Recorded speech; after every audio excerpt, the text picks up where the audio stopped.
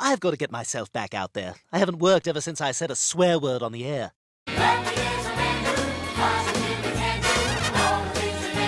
Suck my cock, motherfucker!